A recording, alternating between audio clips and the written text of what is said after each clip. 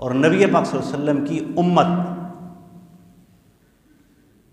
इस उम्मत में भी असहाब रसूल से लेकर आज तक के आने वाले अल्लाह के उस प्यारे महबूब के उम्मती वली तक हर एक को अल्लाह ताला ने मकाम कुर्ब अता फरमा। ये हमने अपने गिरबानों में झांकना है कि क्या रब ने हमें भी कुछ मकाम कुर्ब अता फरमा? क्या हम भी उसकी तरफ़ बढ़े? क्या हमारा भी रब के साथ कोई ऐसा रिश्ता कायम हुआ कि जिससे हम भी ये दावा कर सकें कि रब ने हमें भी अपनी कुर्बत नसीब फरमाई?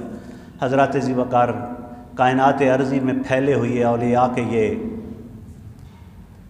खूबसूरत मीनार के, रोशनी के मीनार, ये हमें इस बात का दर्स देते हैं कि इन सबको जो मिला हुजूर सरवर दोम के कदमों में बैठने से मिला, हुजूर की नस्बत से मिला, हुजूर के सदक़े से मिला। हज़रत जी बकार, किसी शायर ने क्या खूब कहा, हम तेरे इकबाल से चलते हैं सीना तान कर। नाज हो जाता है तेरा कहलाने के बाद। हज़रत जी वकार वो नाज कब हासिल होता है?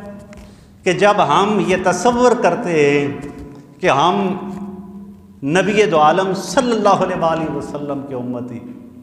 और नाज उस वक्त होता है कि जब यह तस्वर आता है कि हमारे नबी नबी आखिर ज़मा हैं। हमारे पैम्बर हमारे रसूल, हमारे आका मौला।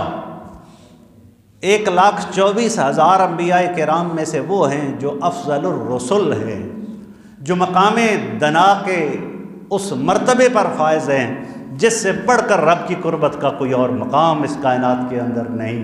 हज़रत जी वकार, सरकार दो आलम अलैहि वसल्लम की उम्मत उम्मत मोहम्मदिया को, जो शर्फ, जो कमाल, जो इज़्ज़तें, जो एज़ाज़ हासिल हुए, हुजूर की नस्बतों से हासिल हुए।